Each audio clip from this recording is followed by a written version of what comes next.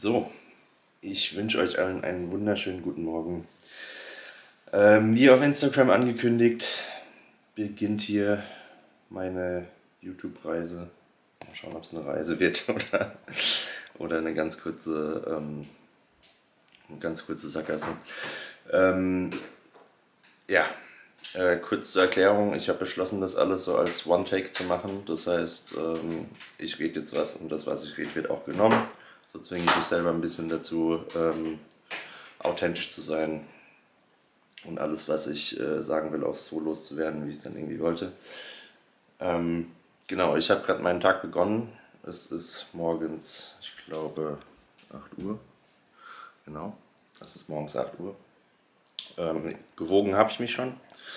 Ähm, mein Gewicht ist heute äh, ein bisschen sehr hoch, komischerweise für die letzten Tage. Ich mache das immer so, ich wiege mich ähm, jeden Morgen. Ich finde, das ist äh, das einzig Sinnvolle, gerade wegen solchen Schwankungen wie jetzt heute Morgen zum Beispiel.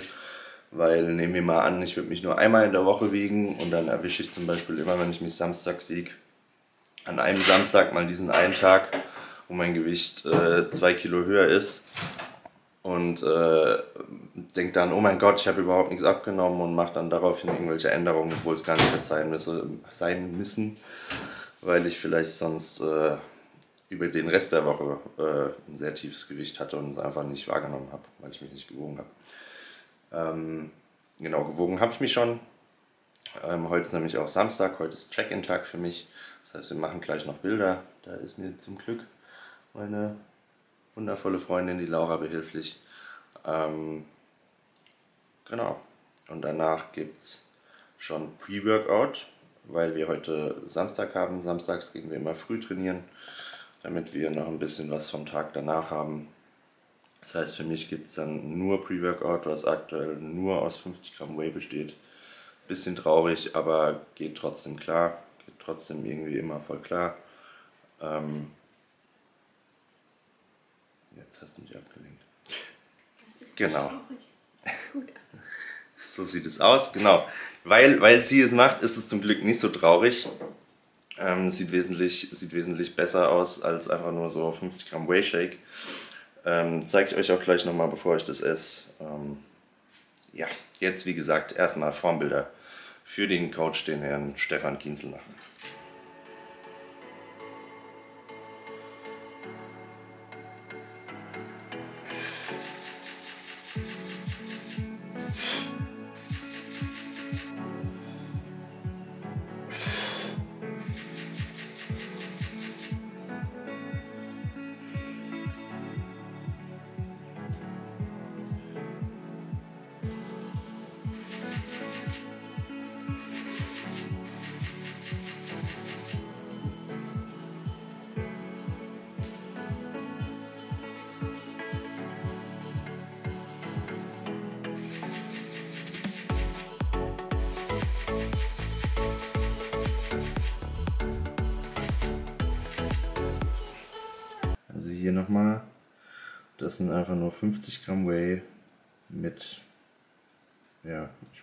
Gesagt nicht mal mit was.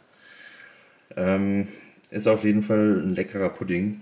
Ähm, von daher ist es trotzdem was auf, mich, auf etwas, auf das ich mich extrem freue. Ähm, fürs Rezept würde ich sagen, fragt einfach die Laura. Ich äh, packe unsere beiden Instagram-Profile eh in die Beschreibung, in die Videobeschreibung. Und ähm, dann könnt ihr sie fragen, wie man dieses leckere Stück Proteinpudding anfertigen kann.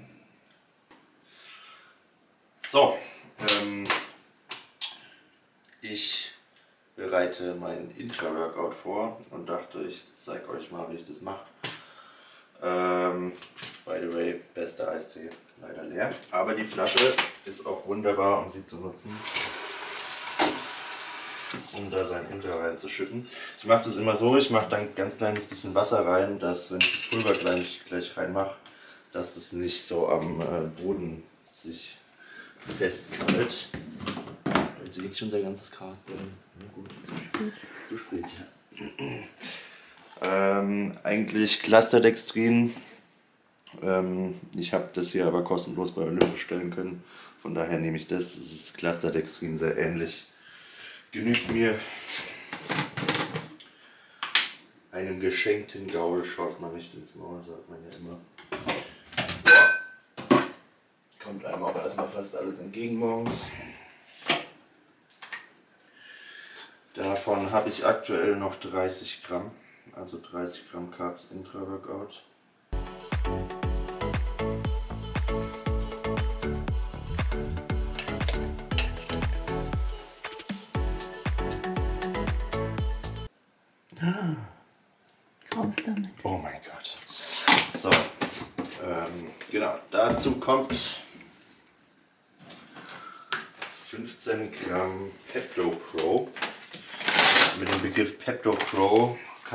Erfahrung sagen, können die meisten absolut nichts anfangen. Deswegen erkläre ich es kurz. Äh, Pepto Pro ist vorverdautes Casein. Ähm, das heißt, im Gegensatz zu EAAs zum Beispiel, was ja die meisten kennen, ist Pepto Pro halt ein vollwertiges Protein, also hat alle Aminosäuren. Ähm, aber dadurch, dass es vorverdaut ist, ist es halt trotzdem wunderbar verträglich und auf oder wird perfekt aufgenommen im Training. Genau.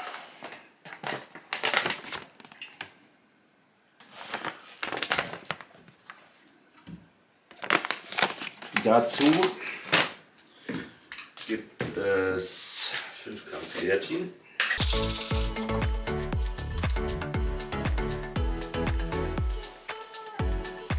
Und was dann eigentlich auch in diesen Shake kommt, ist Beta-Alanin. Allerdings finde ich Beta-Alanin trinken, weil es dann auch immer schon auf den Lippen so kribbelt, ziemlich ekelhaft. Und deswegen schmeiße ich mir im Training immer so zwei, drei davon ein. Einfach so das Training verteilt, einfach am Anfang eine, am Ende eine, in der Mitte eine und hau mir das so in mein Schuh weg. Genau, und für nach dem Training, da wir heute früh trainieren gehen, normalerweise mache ich ja morgens mein Cardio und gehe dann mittags trainieren. Ähm, heute wird es dann so rumlaufen, dass ich äh, erst trainieren, dann direkt im Anschluss mein Cardio mache. Und ähm, da 40 Minuten Cardio okay sind, aber trotzdem absolut keinen Spaß machen, weil Cardio generell keinen Spaß macht, ich glaube, das muss ich mir erklären, ähm, brauche ich da was, auf das ich mich freuen kann. Und das steht nicht auf dem Plan, ich mache es aber trotzdem, weil EAAs, wie gesagt, eh kein vollwertiges Protein sind und ich deswegen auch nicht als vollwertige Kalorien zähle. Ähm, deswegen gönne ich mir fürs Cardio extra nochmal EAAs. Und zwar die hier. Ähm, ich will jetzt für die Marke an sich eigentlich keine Werbung machen weil ich dieses Assige habe und äh, diese Beefkultur von Sec Plus absolut nicht feiere. Aber der Geschmack ist endlos krass. Laura schüttelt schon den Kopf. Also ich glaube, be besser nicht als Empfehlung nehmen, weil die meisten, denen ich es empfohlen habe, sagen, Alter, was ist mit dir los? Das schmeckt wie Scheiße. Ich finde die ultra geil. Ähm, deswegen haue ich mir die jetzt nochmal in eine Flasche, weil ich, wie gesagt, mich dann fürs Cardio extrem auf die freue. Das sind halt generell so kleine, kleine Diät-Tipps, die ich einfach für jeden habe. Ähm, versucht euer Gehirn ein bisschen auszutricksen, baut öfters am Tag einfach ein paar Dinge ein, die keine oder gar keine, äh, keine oder sehr wenige Kalorien haben, auf die ihr euch irgendwie freuen könnt. Deswegen bin ich auch kein Fan davon, irgendwie, also auch bei meinen eigenen Kunden, bei meinen eigenen Coaching-Kunden, absolut kein Fan davon, irgendwie komplett feste Pläne zu schreiben, wo dann drauf steht, das muss jetzt 100 Gramm Reis und 100 Gramm Hühnchen sein, weil damit kannst du null kreativ werden. Ich finde, einfach ein bisschen kreativ wird, jeden Tag so ein bisschen was anders macht. Kann ich euch später ein gutes Beispiel zeigen, wo ich das zum Beispiel gerade aktuell wieder mache. Dann äh, lässt sich so eine Diät wesentlich einfacher gestalten, meiner Meinung nach. Genau, gleich steht ähm, Pull 3 auf dem Programm. Ich bin schon fast fertig fast ready angezogen. Jetzt gleich noch ein Pulli oder äh, T-Shirt drüber. Ich hasse es, direkt mit Tanktop ins Gym zu laufen. Ich glaube, jeder, der mich im Gym schon mal gesehen hat, dem wird aufgefallen sein, das mache ich nicht. Ich brauche erst einen Pump, bevor ich mich im Tanktop im Gym wohlfühle. Deswegen ähm, Pumpcover, wie es die Amis so schön nennen, wird gleich noch drüber gezogen. Ähm, Pre-Workout wird gleich auch noch getrunken, zeige ich euch gleich auch noch und dann geht's los wie es in der Diät so ist, ähm, die Vorfreude aufs Training könnte größer sein, aber sie ist trotzdem da. So, jetzt hier beim zweiten Pre-Workout-Ritual quasi angekommen. Erstens wird hier äh, mein absolut oberhammergeiles äh, Logbuch geschrieben. An der Stelle nochmal danke an Lukas. Ähm, genau, ich mache es immer so, ich gucke hier beim alten quasi, beim alten die Übungen ab, schreibe die dann hier auf eine neue Seite und lasse halt Felder mit den Gewichten frei. Ähm, ohne Koffein geht natürlich gerade gar nichts, deswegen gleich ein Bang. Ähm, hier habe ich nochmal eine extra Koffeinkapsel, weil mir das vom Bang nicht reicht. Das hier ist Rob, das hier ist L-Theanin, damit, ähm, damit das Koffein nicht so, nicht so zittrig macht. Und hier hat Laura noch so einen äh, Pumpbooster von MST Nutrition zugeschickt bekommen. Ähm, den gibt es mit dazu. Und während das Ganze zelebriert wird, wird hier Ian, ich kann kein Französisch, Valier, Valier, was auch immer. äh, und Melissa Bumstead beim auch Rückentraining zugeguckt.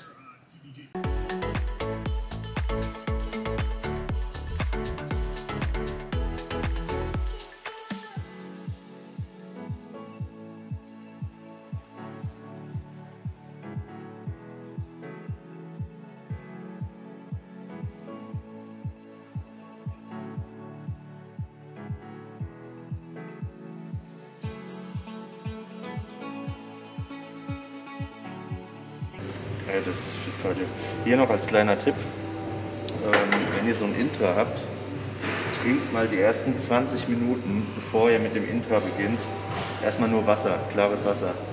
Weil die meisten kennen es, von so Clusterdextrin und so wird einem ein bisschen schlecht. Und ich habe rausgefunden, beziehungsweise dank Stefans Plan habe ich rausgefunden, ähm, wenn man die ersten 20 Minuten Wasser trinkt dann, und erst dann mit dem Cluster und so anfängt, wird es besser.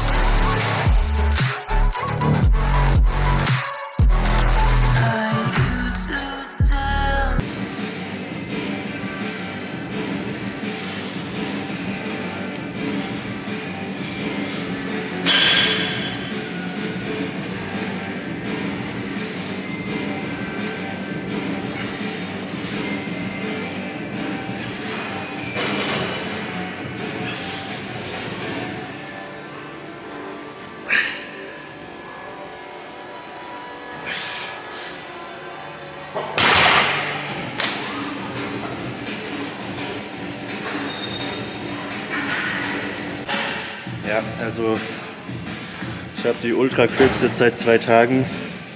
Vorher hatte ich Cobra Crips aus Amerika, die sind deutlich besser.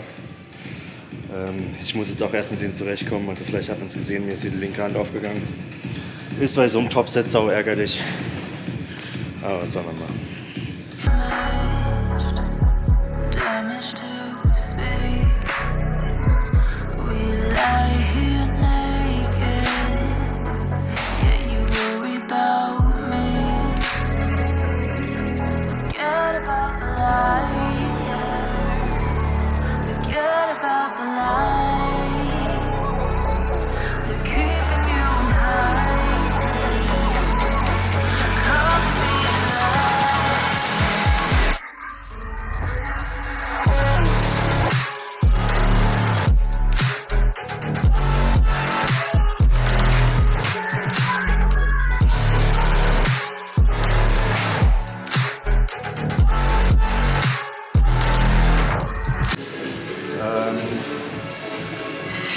Weiterer Tipp von mir.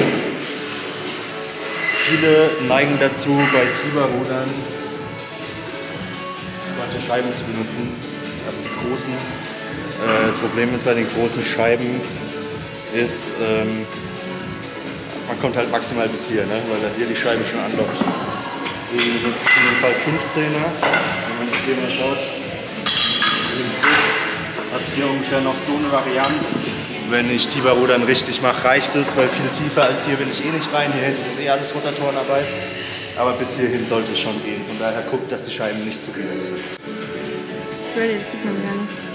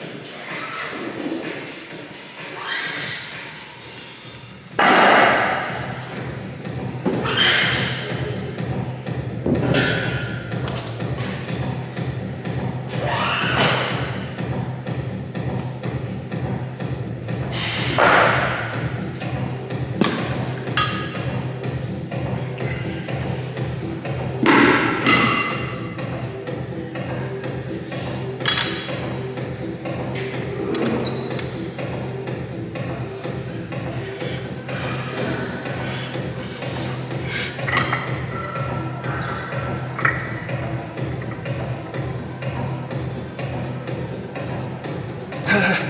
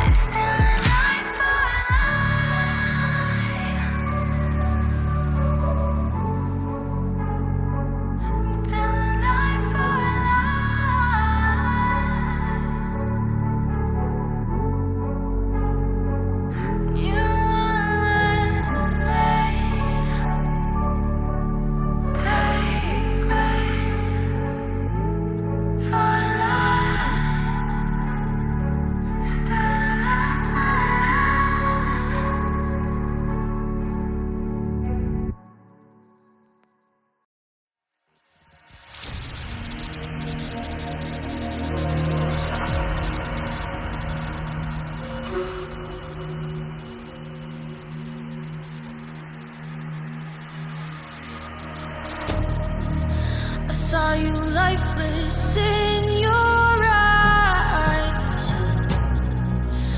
Feel the depth of your disguise. Lose your touch more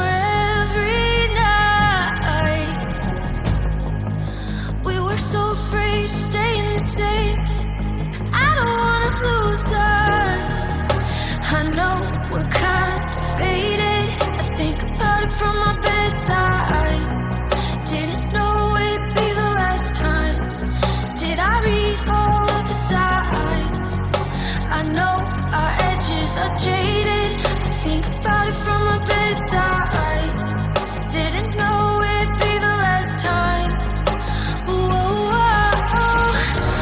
Saw your face in the rain I'm wondering, do you feel the same? I'm wondering, do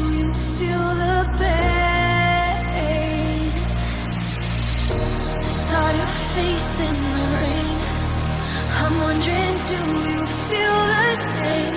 I'm wondering, do you feel the pain? Cause I still feel the pain.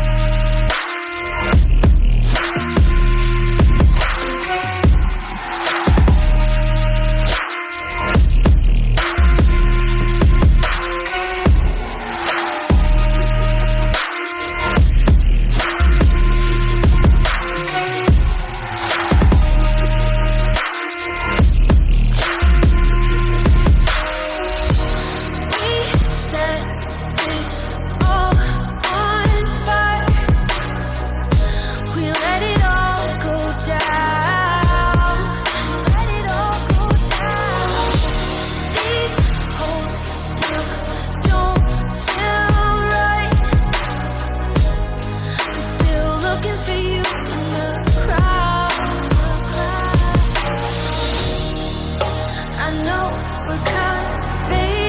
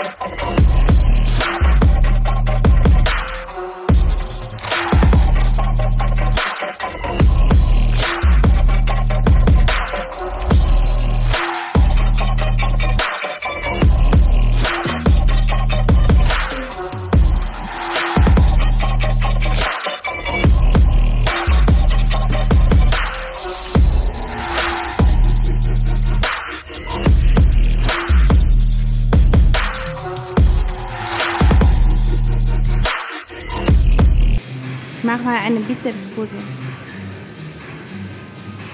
Kann ich hier gar nicht richtig. Ja? Kann ich hier gar nicht. Voll der Pump. Jetzt nochmal.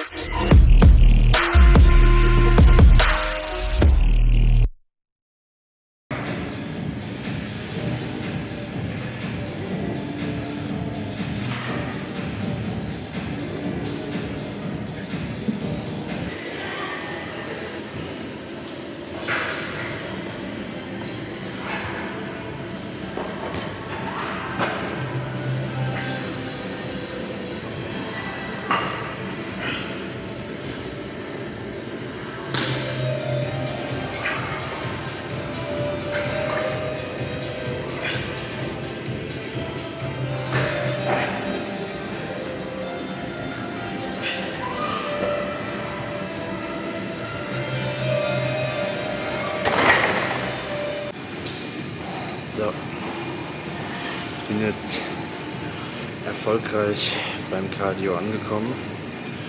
Ähm, das heißt, das richtige Training ist durch. Ähm, genau, jetzt stehen 40 Minuten Stairmaster auf dem Plan. Ich glaube, jeder, der mir bei Instagram folgt, weiß es mittlerweile, da ich es täglich poste. Meine 40 Minuten. Ähm, genau, Training war soweit eigentlich sehr gut. Also hat richtig Spaß gemacht, hat Bock gemacht. Ja, Gewichte werden langsam schwer. Hier und da musste ich mal ein bisschen Schwung einschmuggeln, obwohl ich immer predige, nichts mit Schwung. Aber ähm, ich versuche halt zumindest das Gewicht von der letzten Woche zu packen. Ähm, bisher war es ja so, dass ich mich immer steigern konnte. Und jetzt werden die halt, weil ich drei Wochen out bin, langsam echt schwer. Von daher äh, nutze ich das jetzt mal als, glaube ich, äh, gerechtfertigte Ausrede.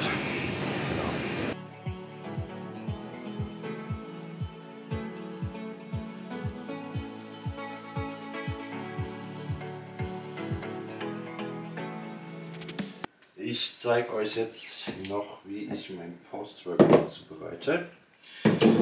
Das ist äh, hier, Moment, damit man es gesehen hat, der Hip Bio Baby Reisbrei. Der ist schon ziemlich geil, vor allem wenn man nicht mehr so viele Carbs hat, ähm, weil der ordentlich fluffig aufgeht.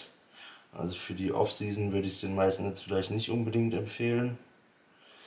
Für so eine Diät ist es schon brutal, muss man sagen. Oha.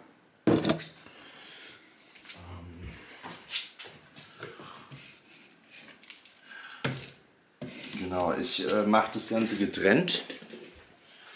Das heißt, ich mache erst, ich rühre erst das Reismehl an, weil ich habe noch Whey dazu. Ich rühre erst das Reismehl an, weil das wird irgendwie ohne Whey, kriegt das irgendwie eine geilere Konsistenz. Ähm, deswegen mache ich, damit es schon nach was schmeckt, hier so Chunky Flavor rein, die Laura zum Glück immer geschickt bekommt.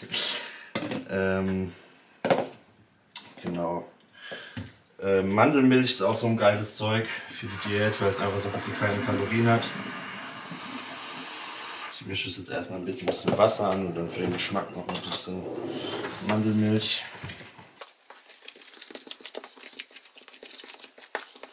So, also wie man sieht, das wird schon ultra fluffig, aber ist schon zu fest. Das heißt, da muss noch gut Flüssigkeit rein.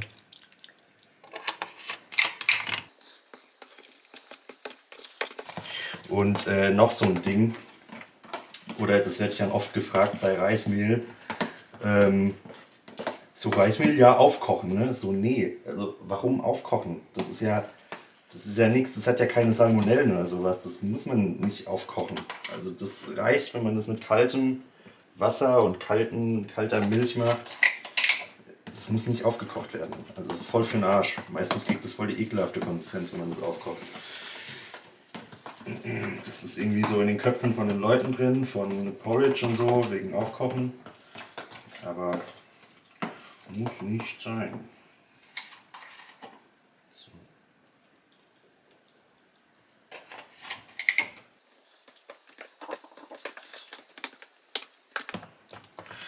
Ja, also wie man sieht, es kriegt so eine richtig nice puddingartige Konsistenz.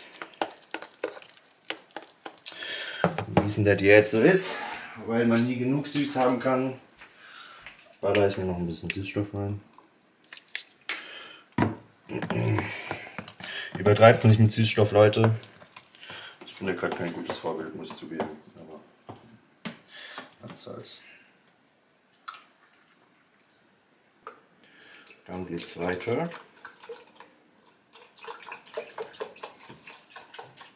Und zwar mache ich meinen Whey jetzt quasi so als Topping drüber.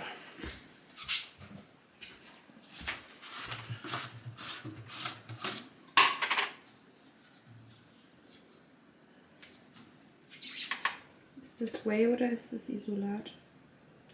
Ähm, das ist Isolat. Isolat würde ich den meisten empfehlen. Ähm, ja, weil es einfach, äh, soweit ich weiß, keine Laktose hat. Das heißt für laktoseintolerante Menschen auch schon mal besser. Und weil es generell viel besser vertragen wird, auch äh, fürs Hautbild besser ist und auch schneller aufgenommen wird. Und äh, mittlerweile, also ich sag mal heutzutage, auch preislich und geschmacklich äh, normalem Whey nicht großartig nachsteht. Welchen Geschmack hast du? Das ist. Jawohl. Äh, Dark Chocolate. Dark Chocolate. Und der ist wirklich verdammt gut.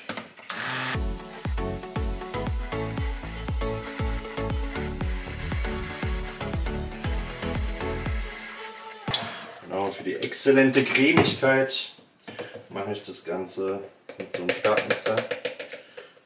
Einfach weil es geil ist. Und weil man nichts verschwenden darf. Auch wenn es jetzt eklig aussieht. Diät halt, ne? Alle, die mal eine Diät gemacht haben, werden es nachempfinden. So, und dann kommt es hier als Topping drüber.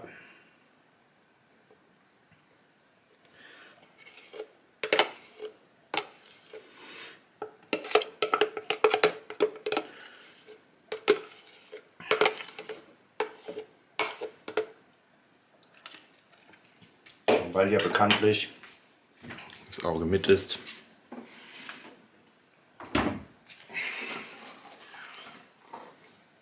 auch wenn es nicht auf dem Plan steht. Aber zwei, drei Beeren machen das Ganze wesentlich attraktiver. Genau. Die nächste Mahlzeit steht an. Bei Laura gibt es Kartoffeln mit Hähnchen und Gemüse. Und bei mir gibt es sadly wieder No Carbs. Aber Laura hat sich, glaube ich, mal wieder selber übertroffen. Also ich freue mich. Was? Wir haben nämlich gerade Besuch. Den kleinen Welpen von der, von der Mama, von der Laura. Ja, will runter, ne? Ja, Schatz. Und es ist definitiv, definitiv gerade der Cuteness Overload hier.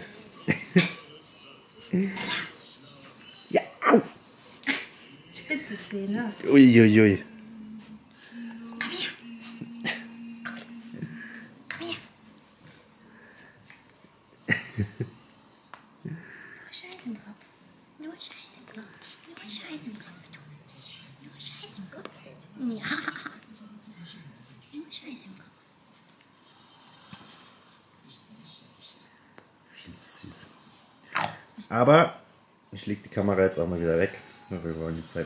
genießen. Als nächste Mahlzeit wird mein Frühstück nachgeholt. Also heute Morgen gab es ja wie gesagt nur mein, äh, mein Whey, also mein Pre-Workout. Und äh, Frühstück wird jetzt quasi hinten angestellt. Da gibt es 80 Gramm von den Haferkissen. Also eigentlich habe ich Haferflocken, aber ich wollte diese Haferkissen probieren. Mit äh, 50 Gramm Whey. Das lasse ich mir jetzt schmecken. So, während Laura hier den Grill für sich abräumt, zeige ich mal, was für mich als nächstes auf dem Plan steht. Äh, ja, wieder nichts mit Carbs. Deswegen, um den Magen zu füllen, einen Haufen Salat mit dieser Soße hier. Ähm, ist eigentlich ganz geil. Und dazu 200 Gramm Fleisch vom Grill mit, äh, ich hatte noch so ein bisschen Rest Wurst bzw. Schinken. Den habe ich mit auf den Grill gepackt. Ähm, wird schon ganz geil sein, denke ich. So, ähm, ich war gerade nochmal mit Laura draußen. Äh, wir haben Bilder gemacht ähm, für Instagram. Ähm, gepostet haben wir danach auch noch. Habe ich mich aber dazu einfach entschieden, die Kamera jetzt nicht mitzunehmen, weil ähm, ja, ihr werdet noch genug Wettkampf-Content von mir sehen in nächster Zeit. Ähm, einfach auf Instagram folgen, aber ich vermute mal, die meisten von euch kommen eh von Instagram, von daher macht das ja nichts. Ähm, genau, ich zeige mal kurz, wie das hier aussieht. Ähm, ich suche gerade Bilder raus, die ich posten kann. Ähm, da geht es um eine Kooperation mit Fabletics, aber werdet ihr dann alles noch sehen. Ähm, also auf jeden Fall gibt es dazu jetzt die gute, alte, bewährte Diät-Götterspeise. Einfach Götterspeise von Dr. Oetker, aber anstatt Zucker Süßstoff reingehauen. Ähm, mit ein bisschen Vanillesoße drüber. Lass ich mir jetzt auf jeden Fall schmecken. Ähm, genau, lass ich mir schmecken. Danach äh, werde ich euch noch zeigen, wie ich meine Pancakes, mein letztes Meal zubereite. So, ich habe ja angekündigt, äh, dass ich zeige, wie ich meine Protein-Pancakes mache.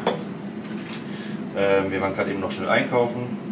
Ähm, genau, ich zeige das einfach mal. Zwei Eier. Zwei Eier, warum? Weil sie auf dem Plan stehen. Mit 200 Gramm Eiklar.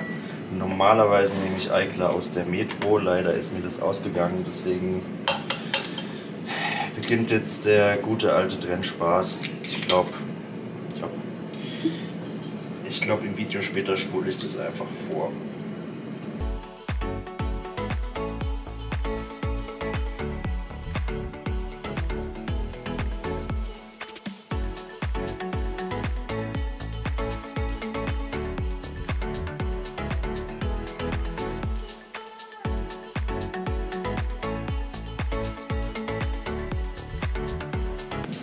So, dazu kommen noch 40 Gramm Whey.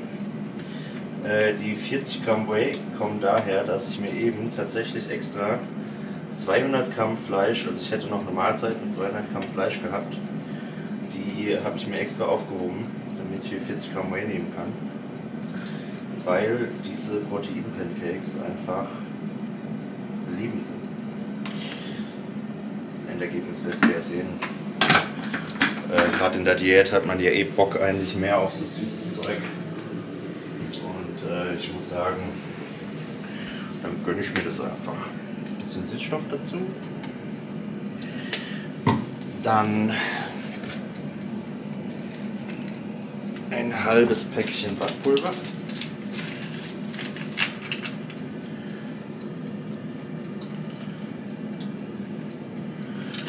Ja, das war es eigentlich schon. Ähm, mit dem Stabmixer verrühren. Man kann es theoretisch auch mit dem Löffel verrühren, aber so wird es halt deutlich cremiger, teilt sich besser und geht dann auch in der Pfanne später besser auf. Die Pfanne heizt sich übrigens gerade schon die ganze Zeit vor. Jawohl.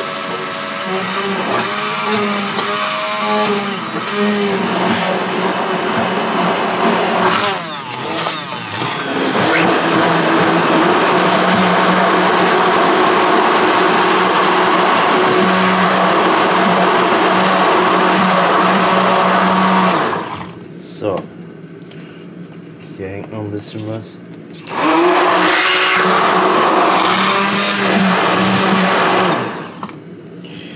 Genau, ich gucke dann meistens ein bisschen, wie es von der Konsistenz ist. Je nach Menge von Eiklar und Whey, wie ihr es halt an euch anpasst, ähm, kann man noch ein bisschen Mandelmilch wieder dazu machen. Aber so wie es jetzt gerade ist, passt es mir. Ähm, ich habe hier von Laura so ein extrem geiles Olivenölspray geschenkt bekommen. Ähm, genau, das sprühe ich jetzt in die Pfanne, die schon heiß ist. Dann fahre ich die wieder ein bisschen runter. Dann gieße ich das hier rein.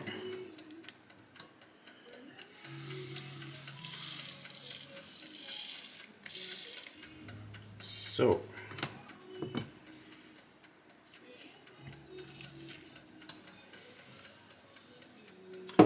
Und dann ziehen lassen, bis es blubbert, dann wenden und das Endergebnis zeige ich euch gleich. Guckt euch das an, meine Damen und Herren. So sieht dann das finale Produkt aus. Innen rein in diese Rollen habe ich meinen Mandelmus gestrichen. Und obendrauf halt äh, eine Ashford Zero Soßen. ja, das lasse ich mir jetzt auf jeden Fall schmecken. Und damit ist der Tag auch schon beendet. Ich danke wirklich jedem Einzelnen fürs Zuschauen, der bis hierhin durchgehalten hat. Ähm, ich hoffe, es war einigermaßen ansehlich. Wie gesagt, das ist einfach ein Versuch. Ähm, lasst bitte wirklich Kommentare da, Feedback. Ich würde mich extrem freuen. Und ähm, mir hat es echt Spaß gemacht. Ich habe echt Bock, das öfter zu machen. Ähm, ich hoffe, ihr habt Bock, euch das öfter anzugucken. Wie gesagt, lasst mich gerne wissen. So eine dumme Abschlusspose, egal. Ciao.